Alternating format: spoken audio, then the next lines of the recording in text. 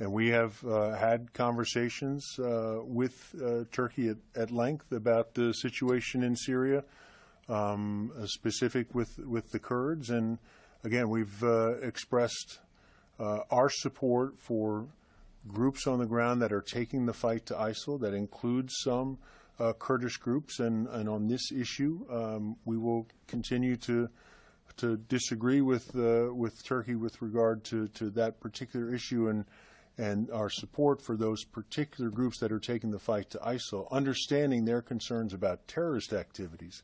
Um, and so we will continue to, to work with the Kurds on this issue and make clear um, our views on this as we continue to work with the Kurds.